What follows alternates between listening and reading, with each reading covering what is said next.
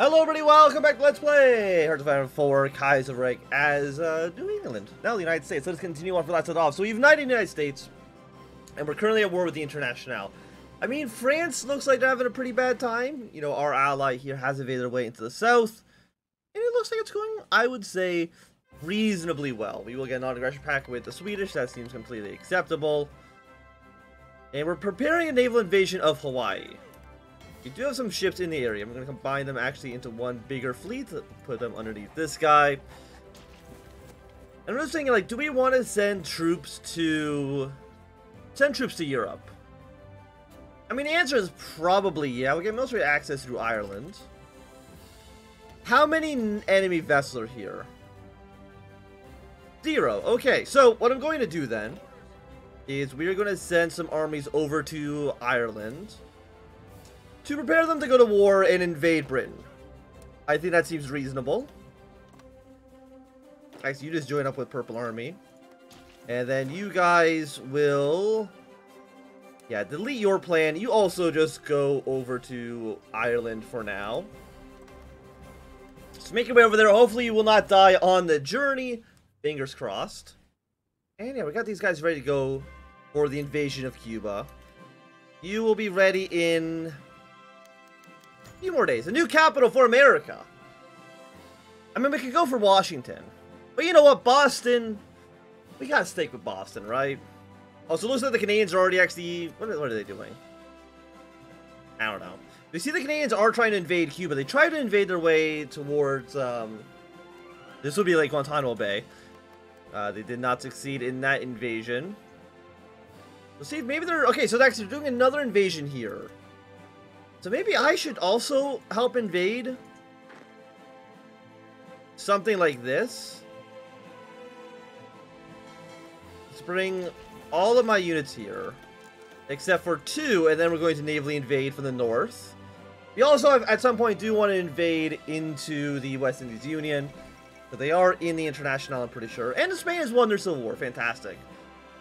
It would be nice if they ended up joining up with either the Reichspakt or the Entente, preferably the Entente, for obvious reasons. And Havana has actually fallen. Bulgaria actually have won the war. I think this might be the first time I've ever seen Bulgaria actually win the war against Serbia, Romania, and the rest of the Belgrade Pact. So good for them, good for them. Oh, we actually didn't even need to invade. The Canadians actually have got this basically on lock. We might as well put all of our units here. And are we training more units? Because we do have 82,000 guns. So yeah, I should be training up more men. I have no reason why I'm not. Uh, let's just go with... I don't know, let's go like a full 48. Okay, we can't. We go 39. And let's go for 30. And then we're going to build two rows of you. And then our tank divisions, which we, to be fair, don't really have a lot of. Actually, do we have any tanks? We have some heavy, we have some light tanks. Okay, so we, we at least have something here. We're to edit you to be a full 20 combat with. I mean, we're to put some infantry in here as well. Yeah, so we'll save it up like that. Let's go with uh, six, and we'll go one row on you. And then I'm going to duplicate and then replace you with heavy tanks. We do have uh, some heavy tanks in storage, we might as well. Save that as copy. And then we'll train up, let's say five of you for now, seems okay. Yeah, so some tanks I think would be nice. Tragedy in New York Central. A large explosion attracted uh, many curious onlookers from Little Falls as they saw upon the wreckage of a derailed train. Driver's account stated that the reason for the derailment was due to a sharp curve named the Gulf Curve. Train operator, 65-year-old Jesse H. Hurl, was running uh, abroad, or running behind schedule due to weather and a faulty engine. Hoping to make up time, he kept the train moving too great a speed, safely passed along the curve. Such a shortcut ultimately caused 30 passengers their lives as well as his own, just one month before he was scheduled to retire. Oh no. How very, very sad for him. Do a national focus. We do have our uh, new points here. Fate of political parties. Maintain martial law. Resistance goes down significantly. And if we want to get more cores in the, um, we want to get more cores, we kind of have to do it this way. So we do see that Greece actually joined up with the Moscow Accord. We see Serbia Romania join up in that, in that as well. I mean, Ukraine, very, very close to death. I don't know if they're really going to survive for too much longer. And actually, Cuba's already capitulated. So actually, we should probably have you guys prepare for an invasion into here. Also, let's prepare an invasion into the south, because that's a victory point. And then also prepare a naval invasion into San Juan. And then another naval invasion into... I guess Georgetown seems like it makes the most sense. Then we'll draw a fallback line here. Have everybody there for now. And of course we do need to get some naval invasions here ready to go. They'll probably go from Belfast, go for this port. Usually is the safest bet, and then White Army will have you go from Cork. And then somewhere around here, I'm not too sure uh, quite yet which of the areas we want to actually invade. But one of those areas for sure is where we want to uh, send some troops. We are having low supplies right now in Cuba, but that's okay. The Canadians will end up leaving. It's not going to be a big deal one way or the other. And how actually is resistance looking right now? I mean, it, it's pretty bad. It rests right now 21%. 15% in some of the areas over here. It would be very nice to have more stability. Like, it's really hampering our ability to to deal with the resistance. Luckily, uh, martial law will get us to the flat negative 15%, which should be, for most of the West, enough to put them at 0%, which I'd be very happy with. And Albania actually declared war on Serbia. How troops does Serbia actually have now? 619 against an unknowable amount of Albanians. But I do think the commune should end up dying sooner rather than later. I mean, they're going to lose Paris within a decent amount of time. And again, I want to focus on taking out Britain before, um, before France falls. Otherwise, invading Britain gets significantly more difficult because all the French refugees will just be uh, British troops, and that is not great. We do need chromium. We will get that from Canada. Wait, do we not actually have any factories? No, we do not. We have 85% consumer goods. Okay, fantastic. France declare war on Chad. I mean, that should be okay. I'm not really too concerned with that. Legislate freedoms. Intelligence. Reclaim Hawaii. Who's actually Hawaii? You're already in the Entente. Okay. So I can't just declare war on you. We also haven't done the focuses that we need. Okay. I mean, it'd be nice to get Hawaii back. It gives us a strategic position that we can use maybe against the Japanese. against Japan could maybe be a threat. It's hard to say right now, because they can't... I know they can demand Hawaii. Which would lead us to go to war with them rather soon. Also, my Navy should entirely go to Cork. Okay, we maintain martial law. And again, I want to look at, I think resistance is on you. So yeah, we actually got a lot of zeros. Wait, is it just a one-time negative 15%? Oh, that's way less good than I thought it was. Modify social resistance, modify longest resistance. Let's do the American Reconstruction Act. At least for right now. But actually, I probably do want at least one... Probably want one Navy to stay behind.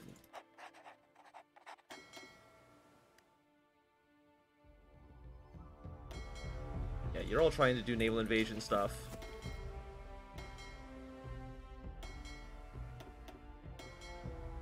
Lead all of your old plans. You know, you don't have any plans. Delete your plan. Delete your plan. And again, you, you, and all of you. Just go to Ireland, okay? Go to Munster. Don't make this any harder than it needs to be. Is there anything we can get for stability? Yes. I will legislate some freedoms. It will put us at 90% consumer goods factory, but I literally do not think that's actually even going to matter remotely. you guys go up towards Belfast. Prepare the invasion. I mean, Norway's almost dead. West Indies apparently is actually also taking a little bit of a hit. What if what if they lost? They see they, they still have Kingston. I'm really not too sure what their big uh like okay, let's take a look here. We do have a massive amount of air uh naval superiority. So we're gonna get you over here. Okay, so we see that you're defending these areas. Again, we're gonna go up north. You're in Liverpool. And we do see there is a motorized division defending this province. Okay? Syndicate overthrown the Greek government. Okay, well, I didn't see that one coming. Lancer. So they're no longer in the Moscow Accord. I would have to imagine. It's 1940 right now. Do we have any 1940 techs already getting all of you? I will go for one level excavation. Yeah, so you're no longer in the Moscow Accord. We see British forces, or no, Australian forces actually landed over here. Which might end up causing the AI to move. Usually that's the case. A lot of troops in Liverpool. And it does not look like they have really abandoned any of their positions, which makes me a little bit upset. We do have some com- ah, we don't need that much command power. Yeah, because our war support is still absolutely in the freaking gutter. And we have, like, no... How many guns do I have? 57,000? Okay, we can definitely, like, reduce of guns we're producing by pretty decent amount. Okay, so taking a port here. Let's try four divisions.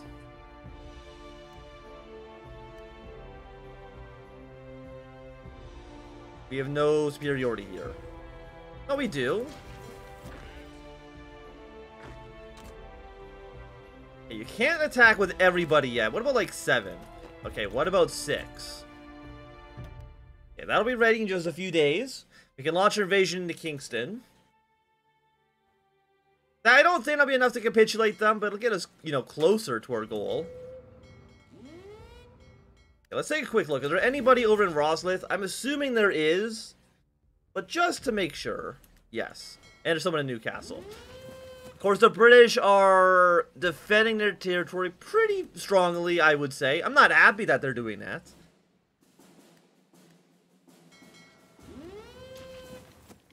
Okay, send out our ships here. Because I think they're all submarines, so they don't actually do anything. Okay, so your invasion's going fine. We should end winning this battle. I'm going to send naval vessels down here, because you are worth five. You're not actually a core territory. So you got five victory points here. San Juan, not a core. Very important to note. Nassau is worth three. It looks like the Canadians will actually take over there for too long. And that's going to get the West Indies Federation rather close, for sure. Move our units up north. I'm going to send Send some units to Georgetown. There is somebody in Georgetown, but hopefully we can uh, dislodge them in good time. I mean, my thoughts are, like, do we attack Britain or do we try to maybe just invade France first? Because I would like to kill the British ASAP. The thing is, like, I still don't know how floating harbors work. You know what? In the middle of this episode, we're going to let things run a little bit. You know, see if we can land in Georgetown. I'm going to say it might not work, but I'm curious. Poi for floating harbor. How do you get how do you get floating harbors?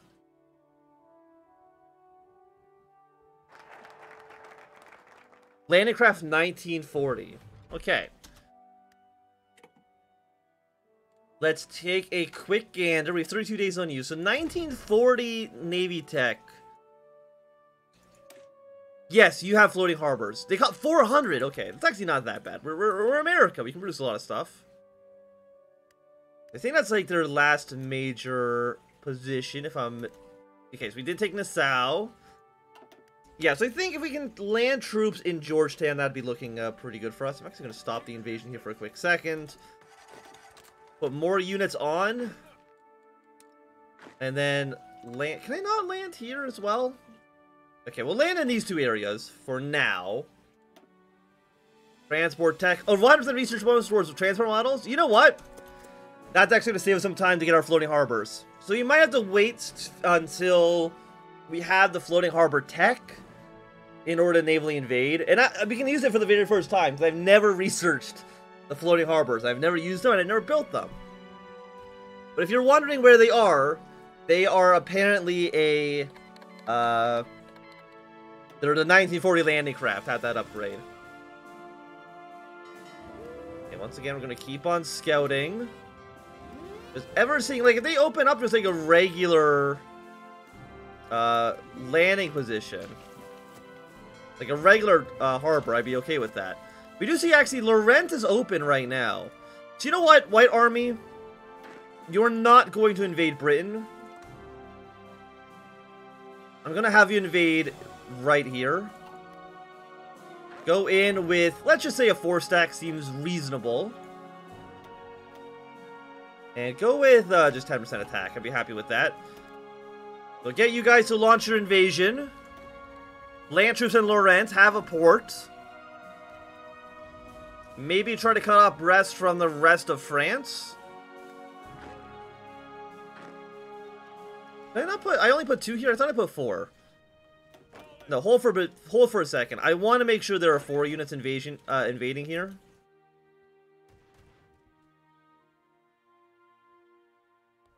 Oh, I can't because I've already set. But I set eight to you? Yes, that's why it didn't work. Okay, we'll go to war with Niger. It's fine. Not gonna worry about too much. Okay, so there's four divisions. Go back to Cork. We'll launch another invasion. Have that go. And assuming that all of you are back here, which you are, we're gonna send another naval invasion towards Georgetown. I think Georgetown, if we can kill them off, that should be the West Indies Federation completely dealt with, and that should, I think, be the International in the Americas dealt with. Again, Mexico is totalist, but there's nothing we can really do about that right now. Reverse over militarization. Um, absolutely not. We're currently in a war, if you didn't know that. Could go to partial mobilization, yes please. Again, the French Republic is doing very, very well in the southern commune. Germany's doing okay up in the north as well. Here comes our troops. Going to take to Lorient. I'm going to put all of White Army down here when we get the opportunity to do so.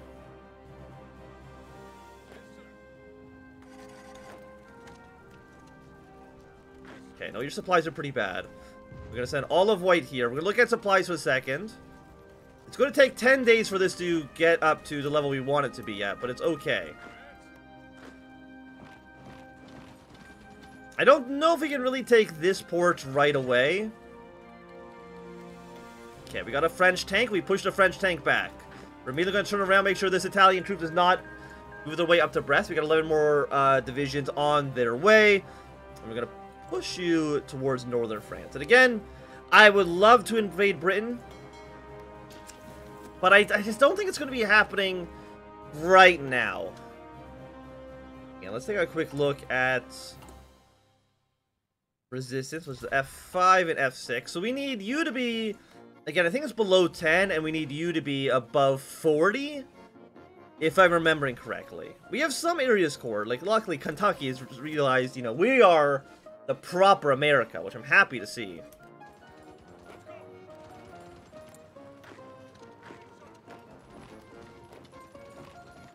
Okay, I'm gonna move you up. We got 11 more troops on their way. Move you captures the airport. Having an, uh, an airport over here actually would be nice. We have a bunch of aircraft we're not actually doing anything with.